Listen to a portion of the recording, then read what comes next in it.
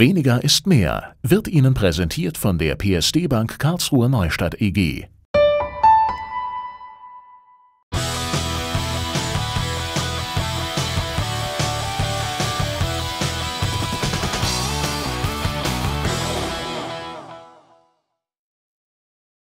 Hallo und willkommen zum Hochschule Pforzheim Magazin. Schön, dass Sie wieder mit dabei sind. Wir stellen heute die Frage, gehen uns die Rohstoffe aus? Für das Industrieland Baden-Württemberg eine nicht unwichtige Frage. Angefangen hat alles mit dieser Veröffentlichung. 1972 erregte der Bericht des Club of Rome von Dennis Meadows viel Aufsehen. In ihm tauchten Zahlen auf, wie lange die gängigen Rohstoffe noch reichen. Diese Reichweiten waren teilweise erschreckend niedrig für Kupfer beispielsweise nur 36 Jahre. Müssen wir also damit rechnen, dass die Minen bald versiegen und uns in Deutschland wichtige Rohstoffe nicht mehr ausreichend zur Verfügung stehen? Wir fragen einen Geologen, der es wissen muss. Professor Friedrich Wilhelm Wellmer war lange Jahre Präsident der Bundesanstalt für Geowissenschaften und Rohstoffe in Hannover. Er hat international Bücher veröffentlicht, kennt alle wichtigen Minen dieser Welt und ist heute noch Präsident der Akademie für Geowissenschaften und Geotechnologie. Das ist ja immer sehr populär zu sagen, wir wir, haben, die, wir verbrauchen zu viel Rohstoffe und, und wir, die Erde ist bald leer. Also da ist ein großer Gedankenfehler. Und ich will das mal erklären mit einem Buch. Also wenn Leute sich fragen, reicht die Rohstoffe, dann gehen sie, schlagen sie dieses Buch auf, Mineral Commodity Summaries, der, das US Geological Survey, und im Grunde schreiben alle Leute davon ab. Da der US Geological Survey hat einen großen Stab, die haben für, jede, für jeden Rohstoff, jede Commodity Spezialisten und die verfolgen alles auf der Welt. Und dann gehen sie dahin und schlagen dann auf. Ich nehme mal hier, was haben wir denn hier? Mal Phosphat oder so oder Platin. Ja, richtig, Platin. Und dann sehen Sie hier Bergbauproduktion und dann sehen Sie da hinten Reserven. Und dann wundern Sie sich vielleicht, dass Sie keinen Quotienten der Reichweite finden, aber sagen, diese einfache Rechnung, die kann ich auch noch selbst ausführen und rechnen dann eine Reichweite aus. Und da begehen die Leute einen großen Fehler, denn Reserven ist eine sehr dynamische Größe. Reserven ist das, was wir wissen und wirtschaftlich gewinnen können. Und dahinter muss man noch die Ressourcen sehen, die kennen wir auch. Und die äh, Ressourcen sind bekannt, aber sind zurzeit nicht wirtschaftlich äh, abbaubar. Und dahinter muss man noch die ganzen Geopotenziale sehen, das, was wir äh, noch entdecken können. Vieles, was heute noch unwirtschaftlich oder unbekannt ist, kann in Zukunft abbauwürdig, das heißt zu Rohstoffen Reserven werden. Professor Wellmer widerspricht vor allem der weitläufigen Meinung, es sei alles bekannt, was an Geopotenzial in der Erdkruste schlummert. Das ist ein, ein großer Irrglaube. Wir wissen kaum, was unter, den, unter 300 Metern ist. Also das oberhalb von 300 Metern, das, das können wir vielleicht. Aber äh, das ist ein Irrglaube, dass wir alles, alles bisher exploriert haben. Und da muss sicherlich viel getan werden, auch in die Tiefe einzudringen. Die EU fördert ja große Programme und die sieht bis zum, ja, so gesagt, was haben wir bis zum 3000 Meter Tiefe. Und es werden auch neue Verfahren entwickelt, äh, um elektromagnetisch, geophysikalisch tiefer zu gucken. Also als ich in Kanada explorierte, da setzten wir ein Helikoptersystem ein. Das hat eine Eindringtiefe von 100 Metern.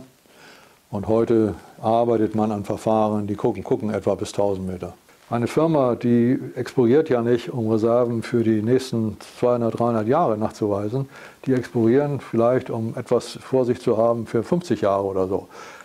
Das ist, eine Firma muss ja sagen, ich muss optimal mit meinem Geld ausgeben. Also brauche ich einen sicheren Planungs Planungshintergrund und kann nicht in die Luft explorieren für die weite, weite Zukunft. Und es gibt auch keine staatliche Institution, die das macht oder auch machen kann. Dafür sind die, sind die äh, geldlichen Mittel eigentlich nicht da. Und warum auch? Das, dieses Gleichgewicht zwischen Reserven und Produktion funktioniert ja. Die Marktwirtschaft, wenn es knapp wird, dann steigt der Preis. Dann ist dieser so von uns, von der BGA definierte Regelkreis der Rohstoffversorgung, greift dann. Das heißt, die Preise steigen. Es gibt Anreize zu exportieren weniger zu benutzen oder auch auf dem Sekundärkreis was, etwas zu tun. Und kein Mensch ist in der Lage, bisher zu sagen, was haben wir denn im Geopotenzialfeld. Ich selbst früher habe das gesagt, wir hätten, könnten das abschätzen mit den Erdölreserven. Ich war selbst ein Verfechter von Peak-Öl, muss ich sagen. Peak-Öl. Dieses populäre Konzept beobachtet die Fördermenge eines Rohstoffes und schlussfolgert aus dem Verlauf der Kurve einen Höhepunkt der Förderung, den Peak, und daraus den Abfall und schließlich das Ende der Förderung. Mit ihm ließ sich beispielsweise die nachlassende Förderung des Erdöls in den USA in den 60er und 70er Jahren sehr gut beschreiben. Aber ist das Konzept übertragbar? Peak Oil, Peak Metal, Peak Phosphor, Peak Everything? Ist ja so, das ist also besonders ausgeprägt leider in Deutschland, man glaubt, glaubt ja immer leicht Katastrophentheorien. Und deshalb war also dieses Peak Everything, dieses Buch war sehr populär. Es gibt mittlerweile auch einen Artikel, Peak Nothing von Rusted, und der wird überhaupt nicht zitiert und wird überhaupt nicht zur Kenntnis genommen, wo eben schön nachgewiesen ist, dass dieses, diese sogenannte mathematische Ableitung des Peak-Konzeptes bei keinem Rohstoff zutrifft. Das trifft immer lokal zu. Ein wunderschönes Beispiel ist, die, sind die Phosphatlagerstätten auf Nauru. Nauru ist dieses Inselstaat, war mal der reichste Staat der Welt, weil dort eben sehr viel Phosphat abgebaut wurde und das ist mittlerweile alles, fast alles weg, nur noch Armerze sind da. Und da können Sie eine wunderschöne Peak-Kurve sehen. So, man muss bei diesem Peak grundsätzlich Folgendes sehen. Es gibt einen angebotsgetriebenen Peak-Kurven und es gibt eine nachfragegetriebene Peak-Kurve. Und wenn Sie die übereinander legen, dann sehen die alle ziemlich ähnlich aus. Also nachfragegetrieben ist zum Beispiel, das beste Beispiel ist eigentlich Asbest. Wenn Sie die Asbestproduktion auftragen, dann sehen Sie eine wunderschöne Peak-Kurve. Das hat natürlich überhaupt nichts damit zu tun, dass es kein Asbest mehr gibt, sondern es hat damit zu tun, dass Asbest nicht mehr akzeptiert ist. Also Umweltgesetzgebung hat diese Peak-Kurve äh, erzeugt. Oder Sie sehen die Peak-Kurve äh, über die Kohleproduktion in Deutschland oder in Frankreich oder so ist genau dasselbe. Ich meine, es gibt genügend äh, Kohlevorräte. Man sieht ja weltweit, dass die Widerstände gegen Bergbau immer größer werden. Selbst in Ländern wie Kanada, Australien oder auch in Chile, Candelaria, Candelaria, Candelaria äh, werden die Widerstände groß. und der Weg, immer größere Tagebaue zu machen, der führt meiner Ansicht nach in die Sackgasse. Wir müssen lernen, das unter Tage abzubauen. Und äh, da gibt es sehr interessante Entwicklungen in Österreich. Ich meine, Österreich ist ja auch ein Land relativ dicht besiedelt und alles wohnt in die Täler. Und die wollen natürlich auch nicht, dass die ganzen Bergflanken da plötzlich Steinbrüche werden. Und da gibt es verschiedene Beispiele, dass die Leute nach Untertage ausgewichen sind und sehr interessante Technologien entwickelt haben. Und das ist meiner Ansicht nach der, der, der Zukunftsweg. Aber wir haben noch überhaupt noch, wir haben immer, sprechen immer über die Primärrohstoffe. Wir müssen auch mal über die sekundären Rohstoffe sprechen und das ist ja Ihr Thema, Rohstoffeffizienz. Und äh, die Atome von metallischen und nichtmetallischen Rohstoffen gehen ja nicht verloren. Also wir müssen sie versuchen zu rezyklieren. Das Ziel muss natürlich sein, Rohstoffe zu rezyklieren, geschlossene Kreisläufe äh, zu erzeugen. Wenn Sie mal sich überlegen, wofür brauche ich denn überhaupt Rohstoffe? Also Sie brauchen kein 1 Kilogramm Kupfer oder eine Tonne Kupfer, Sie brauchen immer nur eine Eigenschaft. Beim Kupfer zum Beispiel Leitfähigkeit. Aber das können Sie auch anders lösen, zum Beispiel durch Aluminium, indem Sie den Querschnitt größer machen und dann eben Aluminiumkabel besorgen. Äh, das, und da gibt es drei Ausnahmen. Und diese drei Ausnahmen sind die Rohstoffe, die die Pflanze braucht, also Kali und Stickstoff und Phosphat.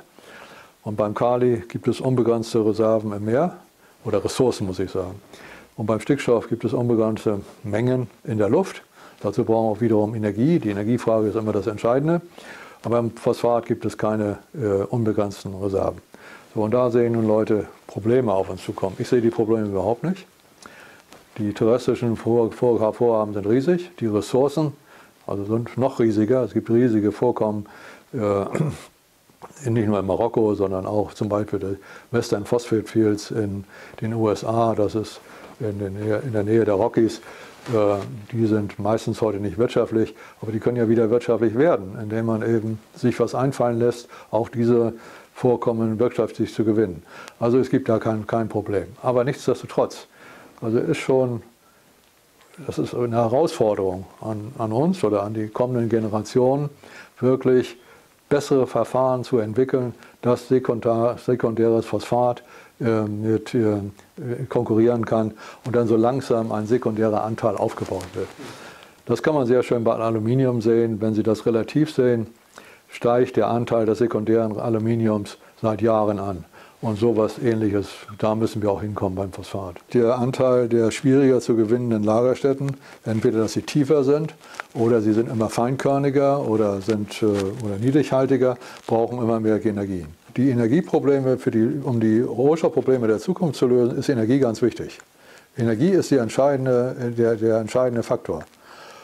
Und allalong müssen wir natürlich zu erneuerbaren Energien kommen. Also wenn wir mal ein bisschen abschweifen, wenn wir sagen, wir in Deutschland wollen also umsatteln auf erneuerbaren Energien.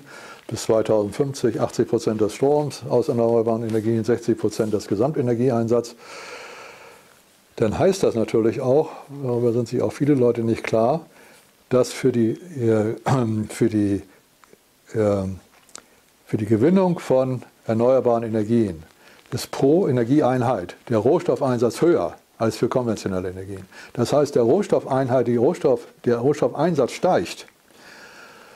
Und das Ganze macht natürlich nur Sinn, weil wir mehr Energien für die Rohstoffe brauchen, wenn auch die Bergbaugewinnung peu à peu, wie schnell weiß ich nicht, auch auf erneuerbare Energien umsteigt für den Energieeinsatz. Sonst ist das ein nicht ganz durchgedachtes Konzept. Das war es für dieses Mal vom Hochschule Pforzheim Magazin. Ich freue mich, wenn Sie auch das nächste Mal wieder mit dabei sind. Bis dahin machen Sie es gut. Tschüss.